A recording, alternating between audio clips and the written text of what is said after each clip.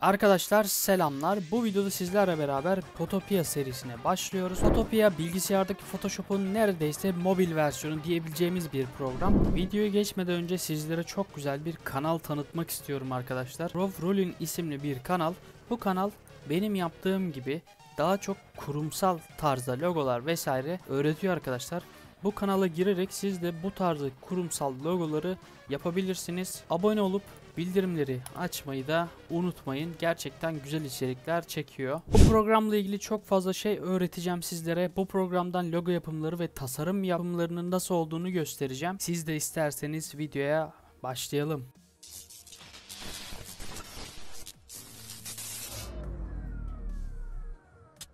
Arkadaşlar ilk olarak bu uygulamayı APK olarak indirmemiz gerekiyor. Photopia APK yazdığınızda çıkan en üstteki yerden direkt indirebilirsiniz. Bu site güvenilir. Ya da ben APK olarak indirmek istemiyorum diyen arkadaşlar için Photopia'nın sitesi var arkadaşlar. Chrome ile beraber açtığınızda buradan online olarak da e, yine aynı yaptığımız işlemleri yapabiliyoruz ama ben indirmenizi tavsiye ediyorum. Zaten 13 MB bir şey. Bu şimdi ilk bölüm olacağı için bu bölümde bazı ayarlamaları ve yazıyı nasıl yapabileceğimizi göstereceğim.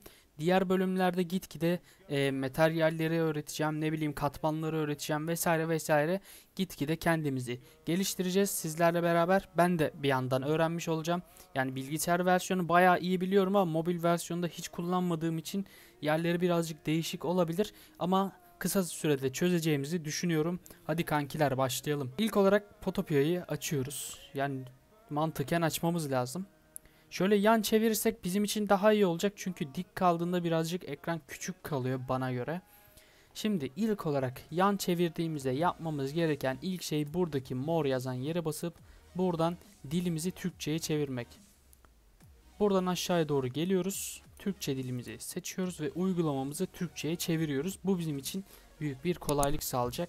İngilizce bilenler İngilizce de kullanabilir kafanıza göre artık. Şimdi bizim bir proje açmamız lazım. Proje açmadan e, herhangi bir tasarım vesaire yapamıyoruz.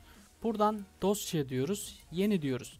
Yeni dediğimizde e, buradan yeni proje açabiliyoruz. E, şimdi sizde klavye normalde böyle gelecekti. Burada benden size bir tavsiye. Eğer Google klavyeyi kullanıyorsanız ya da klavyenizin özelliği varsa basın 3 noktaya kayan bir şekilde açın. Klavyenizi istediğiniz yere götürebilirsiniz. Ekranın tamamını yani bu şekilde kaplamaz. Bu yüzden ben kayan yaptım ve e, böyle sağ tarafa yerleştirdim. Proje adını yazmanıza gerek yok ama istiyorsanız yazabilirsiniz. E, logolarda genelde e, bilgisayarda biz bine bin şekilde açıyoruz projeleri ya da 1080'e 1080 şeklinde açıyoruz. E, bine bin açabilirsiniz.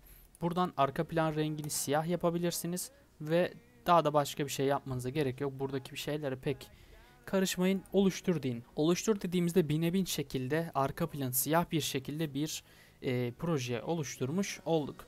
Şimdi ilk olarak öğrenmeniz gereken şeylerden birisi katmanlar arkadaşlar. Katmanları kısmı burada. Buradaki kat yazan yer katmanlar oluyor.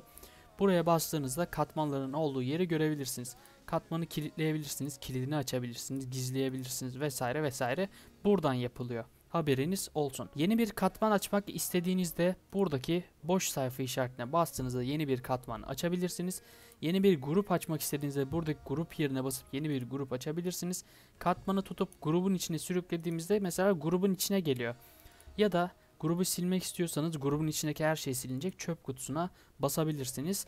Buradan renk tonlarını vesaire ayarlayacağız. Oraya ilerleyen zamanlarda geleceğiz. İlk olarak şunu göstereyim. Diyelim ki projeyi yanlışlıkla siyah açmadığınızda arka planı beyaz açtınız diyelim. Buradan renge basıyorsunuz bir kere. Renge bastıktan sonra beyaz rengi seçiyorsunuz. Şöyle birazcık yukarı çıkabiliriz aslında. Buradan beyaz rengi seçiyoruz. OK diyoruz.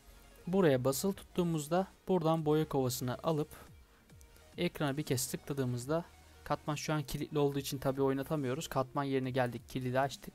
Ekrana boya kovasıyla tıkladığımızda ekran rengini beyaz yapabiliriz. Bunu öğretiyorum çünkü projeyi yanlışlıkla beyaz açan arkadaşlar olacak.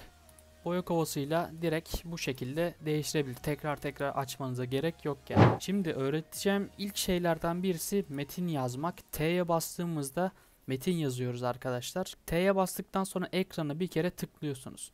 Ekranı bir kere tıkladıktan sonra Buradan önce bir boyutunu ayarlayalım. Buradan 150 yapalım. Hatta 150 bile küçük. Şurayı ben 250 yapayım. Daha sonrasında ekranı tıkladım. Kendi adımı yazacağım. Şu şekilde x2 şeklinde yazdım. Şu anda yazı neden gözükmüyor derseniz buradan yazının renginin e, siyah olduğunu görüyoruz. Yazı siyah ve arka planda siyah olduğu için yazımız gözükmüyor. Bir kez geri tuşuna basalım. Pencereyi kapatalım. Buradan tike basalım. Şu an yazımız ekranda ama siyah olduğu için gözükmüyor. Yazının ayarlarını değiştirmek için katman kısmına geliyoruz. Buradaki T ikonuna iki kere tıklıyoruz. T ikonuna iki kere tıkladığımızda gördüğünüz gibi bütün yazıyı seçiyor. Ve buradan yazının fontunu, boyutunu, rengini, e, ortada mı, sağda mı, solda mı olacak. Onun dışında burada farklı farklı ayarları var. Her şeyini buradan yapıyoruz. Buradan bir kez renge tıklıyoruz ve yazıyı beyaz yapıyoruz. Yazıyı her zaman beyaz yapın arkadaşlar. Beyazın üstünden zaten eklemeler yaparak yazıyı istediğimiz renge çevireceğiz. Bunu da birazdan göstereceğim. OK dediğimizde gördüğünüz gibi e, şuradan mouse aracımızı alalım. Şunu da kapatalım. Şu anda yazımızı beyaz bir şekilde yazmış olduk. Diyelim ki yazınızı hareket ettirmek istiyorsunuz. Buradaki mouse aracını alıyorsunuz. Buradaki el işaretine falan aldanmayın. Mouse aracını alıp yazıyı istediğiniz yere taşıyabiliyorsunuz. E, yazının boyutu küçük mü geldi? Yazıya iki kez tıklayabilirsiniz ama e, ilerleyen zamanlarda efektlerdir vesairedir eklediğimizde yazıyı iki kez tıkladığımızda muhtemelen efekti iki kez tıklamış olacağız. Yazının üstünde efekt olduğu için. Bu yüzden buna alışmayın. E, yazıyı eğer değiştirmek, büyütmek falan istiyorsanız katman yerine gelin. Buradan T'ye iki kez basın ve yazınızı seçin. Ben bunun boyutunu 250 yapmıştım fakat olmamış. Şimdi 250 yaptım. Enter'a bastım ve boyutum büyüdü. Gördüğünüz gibi bu şekilde oldu. E, buna bir font da verelim. Hazır seçmişiz yazıyı. Buradan Deja Vu Sans yazan yere basıyoruz arkadaşlar. Burası birazcık kasabilir. Fontlar yükleniyor çünkü. Buradan aşağı yukarı gelerek istediğiniz fontu kullanabilirsin. Mesela böyle bir font var. Ben bu fontu kullanmak istiyorum. Seçtim gibi. E, font eklemeyi de buradan yine oka basıyorsunuz.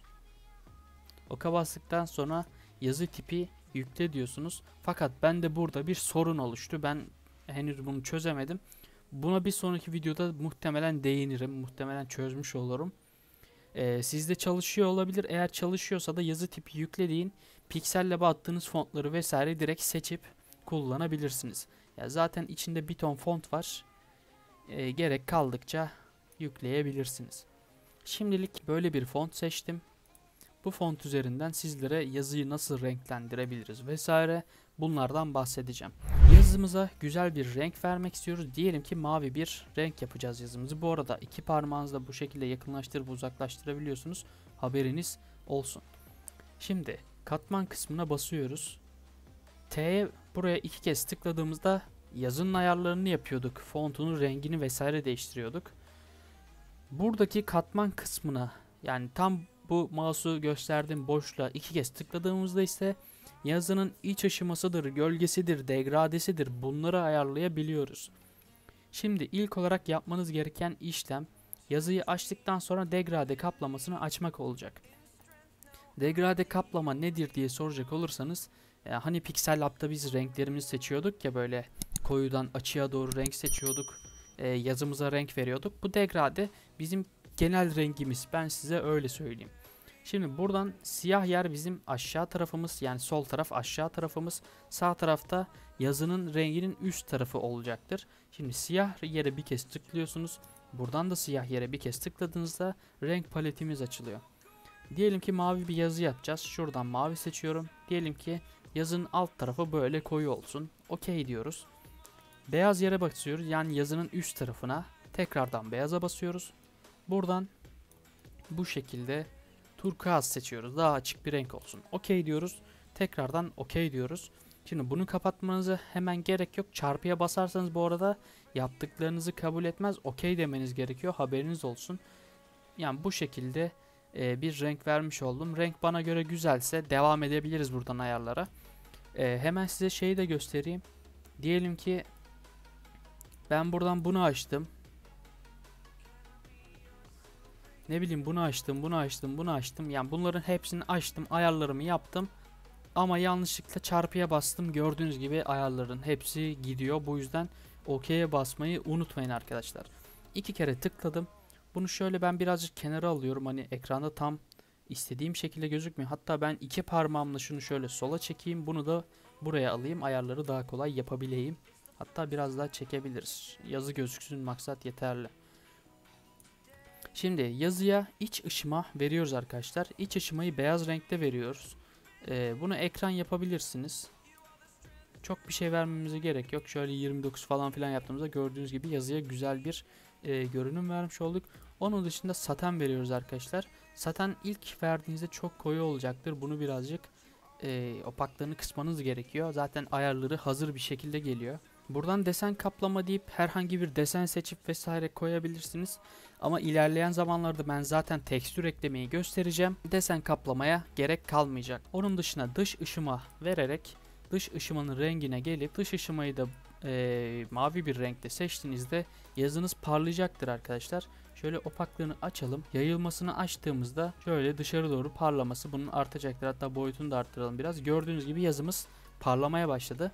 Bunlar birazcık ince ayar gerektiriyor. Siz bunu artık mesela yazı parlak mı olsun vesaire istiyorsanız dış ışımayı açabilirsiniz. Ve alt gölge, alt gölge önemli arkadaşlar. Alt gölgeyi açın, siyah olsun. Eğer opaklığı gölgenin çok olursa e, buradan kısabilirsiniz. Ve bunların hepsini kaydetmek için OK diyoruz ve yazımızı ayarlamış olduk. Böyle bir yazı yaptık şimdilik. Ben bu yazıyı kaybetmek istemiyorum. Daha sonradan da kullanacağım diyorsanız buradan yeni tanımla diyorsunuz arkadaşlar.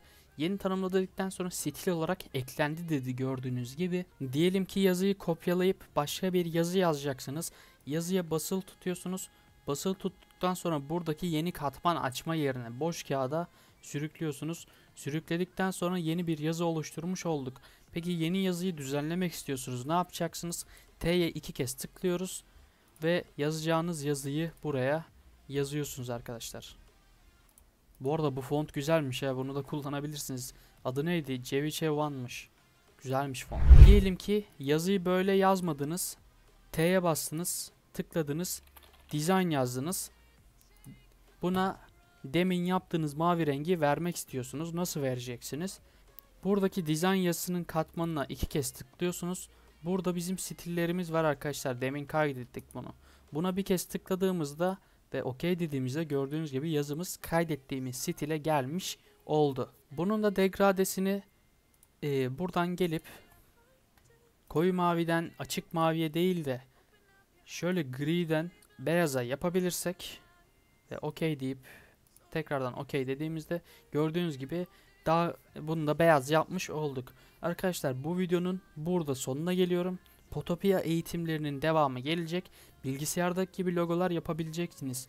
Bilgisayardaki gibi PSD dosyalarını açıp düzenleyebileceksiniz.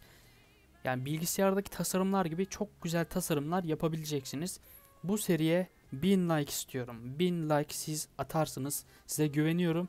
Şimdilik hoşçakalın.